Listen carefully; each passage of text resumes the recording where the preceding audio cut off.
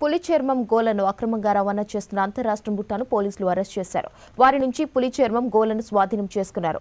AP Odisha రాష్ట్రాలకు చెందిన నలుగురు వ్యక్తులు పులుల చర్మాన్ని గోలను సుమారు ఐదు లక్షలకు అమ్ముతున్నారని పోలీసులు తెలిపారు.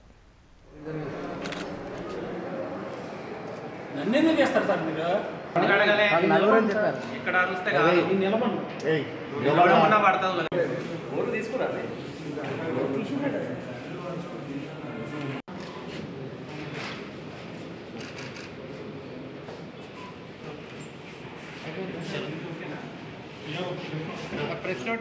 Rachakonda special operation team Malkajgiri ఇంకా మన ఎల్బీ నగర్ పోలీస్ స్టేషన్ సిబ్బంది ఫారెస్ట్ డిపార్ట్మెంట్ సహాయంతో ఈ లెపర్డ్ స్కిన్ని మార్కెట్లో అమ్ముతున్న ఒక గ్యాంగ్ని పట్టుకోవడం జరిగింది.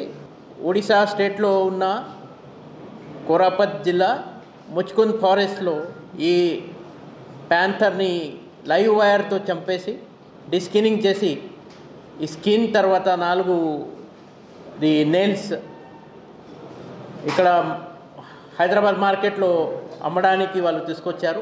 ఈ ఇంటర్నేషనల్ మార్కెట్లో minimum five to ten lakh rupees విలువ ఈ స్కిన్కి ఉంటుంది. ఈ ఫర్దర్ మనకు ఇన్వెస్టిగేట్ చేస్తూ వైల్డ్ లైఫ్ ప్రొటెక్షన్ యాక్ట్ కింద ఈ కేసు నమోదు కాబట్టి ఫారెస్ట్ డిపార్ట్మెంట్కి ఫర్దర్ ఇన్వెస్టిగేషన్ మనం హ్యాండ్ ఓవర్ చేస్తాం Thank you.